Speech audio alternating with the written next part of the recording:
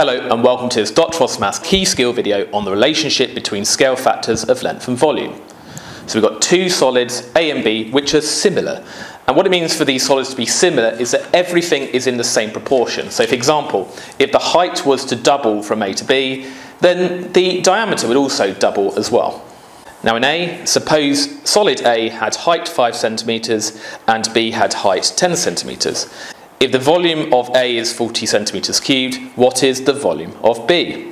Well, let's look at what information we have here.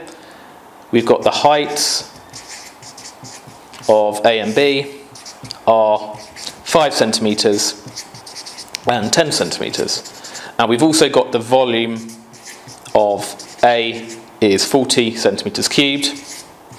And we're trying to find this volume of B here. Now we should start by finding the scale factor of length from A to B. So what's the scale factor of length? I'm using SF for scale factor.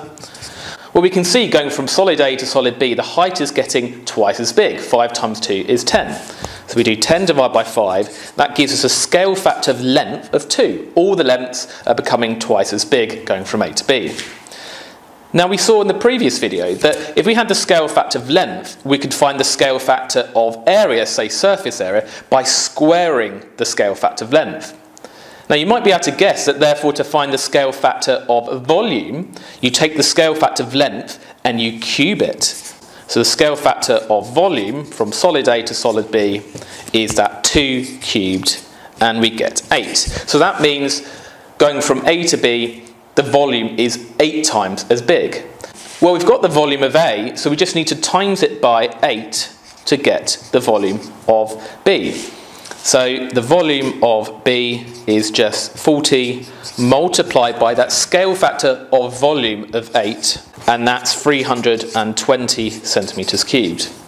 What about the second part of the question? Suppose A had volume 50 centimetres cubed and B 1,350 centimetres cubed. If the height of B is 15 centimetres, what is the height of A? Well, I find the table helpful again, just to lay out our information. So this time we're given the two volumes. We've got the volumes are 50 centimetres cubed and 1,350 centimetres cubed. And we're also given the height of B, which is 15, and we're trying to find the height in centimetres of A. Well, this time, because we've got both the volumes, we can find the scale factor of volume. So how many times bigger is this than this? Well, we can just do appropriate division. So the scale factor volume is 1350 divided by 50 to see how many times bigger it is. And if we do that, we get 27. So the volume of B is 27 times bigger than A. Now thinking backwards, to go from the scale factor of length to the scale factor of volume, we cubed this number, didn't we? So therefore, doing the reverse, if we had the scale factor of volume and we wanted to find the scale factor of length, we cube root that scale factor of volume. So we can find the scale factor of length, for example, height, um, by cube rooting that 27 and the cube root of 27 is 3. So that means any lengths going from A to B are going to become 3 times as big. So if the new height is 15, what would have been the original height if we're timesing all the lengths, such as height, by 3? Well, clearly it's 5. So the height of A,